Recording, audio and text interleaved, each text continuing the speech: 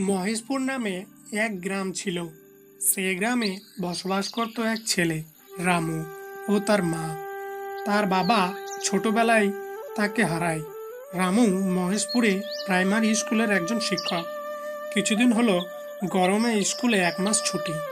একদিন রামুর নামে চিঠি আসে, তার দিদির চিঠি। রামুর দিদি এই গরমের ছুটিতে তাকে তাদের বাড়ি ডেকেছে। তাদের আমবাগানের আম খেতে। পরের দিন রামু তার মাকে প্রণাম করে তার দিদির বাড়ির দিকে রওনা দেয়। রামুর দিদির বাড়ি জয়দেবপুর। জয়দেবপুর স্টেশনে নেমে প্রায় চার কিলোমিটার হাঁটা পথ।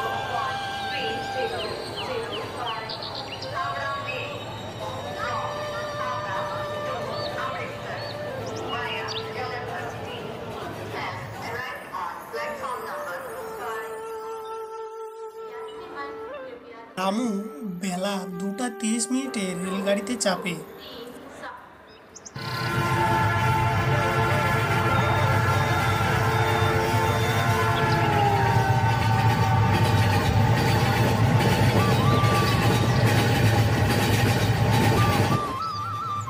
প্রায় দু ঘণ্টার রাস্তা।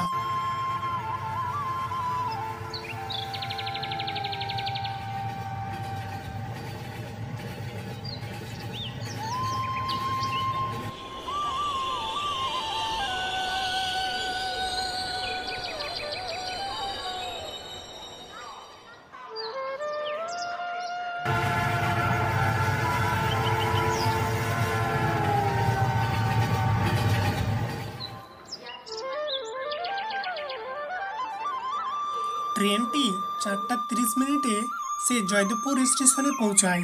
রামু তার দিদির বাড়ি অনেক দিন পর যাচ্ছে।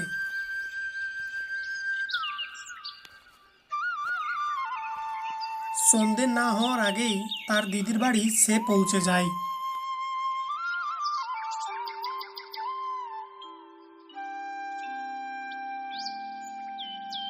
দিদি জামাইবাবুকে দেখতে পাচ্ছি না। জামাইবাবু কোথায় গেছে?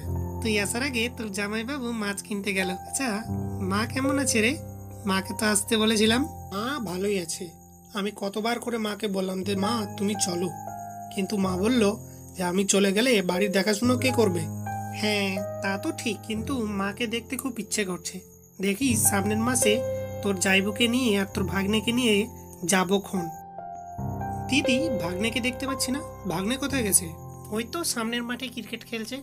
যতক্ষণ সন্ধ্যা না হবে, ততক্ষণ ওর বাড়ি ফেরার কোনো নাম কথাই নেই। কি জয়, তোমার কি খেলাধুলা হলো? মামা, তুমি কেমন আছো? দিদা কেমন আছে? তোমার দিদা ভালোই আছে। ঠিক তখনই তার জাইবু বাজার থেকে বাজার করে চলে আসে। আর তারা সবাই মিলে গল্প শুরু করে। সেই রাত্রে তারা খাওয়া দাওয়া করে ঘুমিয়ে পড়ে। জয় তার মামার সঙ্গে ঘুমায়।